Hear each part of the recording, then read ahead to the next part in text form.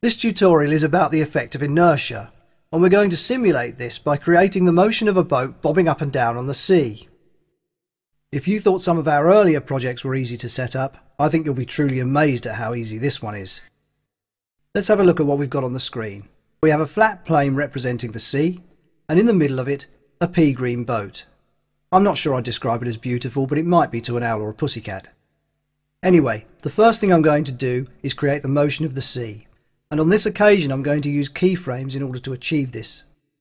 With my timeline set to zero, I come over to my coordinates and I'm going to control click on this small circle here next to the position Y and I'm going to create my first keyframe. It turns red and I've done so. I then set my timeline to 45 frames, adjust my coordinates over here to make my Y position 10 meters, and then control click again to create the next keyframe. And finally, I set my timeline to 90 frames, my position Y back to zero, and control click to set my last keyframe. And now if we play the animation from the beginning, the sea moves up and down nicely, practically sinks the boat, but not to worry, that's not a problem. So that bit of our animation is set up. We can now move on to the Xpresso side of things, so we'll, as per usual, get our Xpresso editor open, and we'll drag in the sea.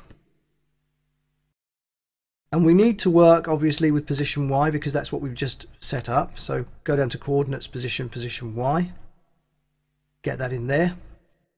We now need to bring in the node that creates the inertia effect. So we come down to our menus as per usual. It's new node, Xpresso General.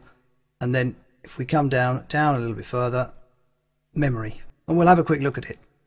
On the left hand side it has two input ports, one labelled history level and the other simply called input. And on the right hand side just the one output. And in this particular instance you can't add any more ports to this node. It simply is what it is. So it's quite a basic node in those terms.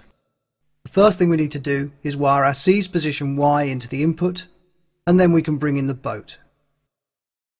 Once again we need to work with position Y because we know we want the boat to move up and down with the C so we just set that up in there and we'll plug our memory nodes output into our boat's position Y.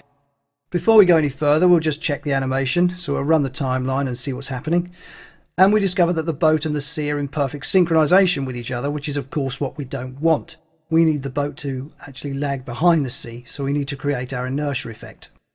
To do so, we need to set up our memory node. So we'll select it and come across to our node properties and parameter and have a look at what's going on in there.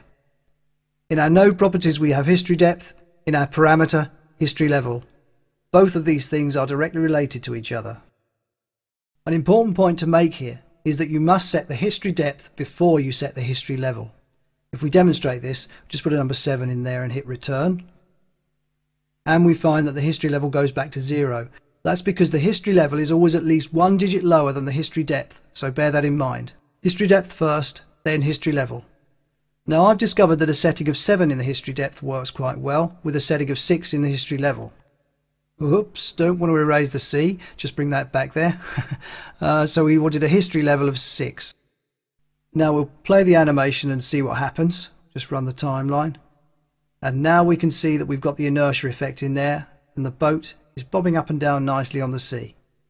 Alright, it's not totally realistic, but anyway, it's not too bad, is it? So you can see how easy that was for us to set up.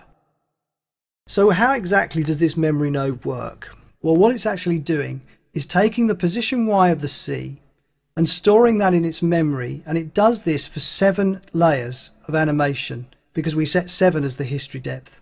And when it gets to the seventh position Y, that's the one it outputs. So in this particular instance, the boat is always seven layers of animation behind the sea, and that's how the inertia effect is created. It's really quite elegant the way it works. So that's the memory node, and if you need to create inertia effects, this is the way to do it. That just about brings this tutorial to an end. But how about this for a thought? If I just select the boat, I'm hoping you've had a look at the range mapper tutorials. Because if we wanted to make the action of this boat a little more realistic, we could make it rock backwards and forwards and also roll side to side. So if you have done the range mapper tutorials, as I'm hoping you have, then you should be able to figure out a way to make this happen. Have a think about it and see what you can come up with. But for now that really does conclude this tutorial. I've introduced you to another little piece of Xpresso magic and I hope it's been enjoyable again. And I'll see you very, very soon on the next one.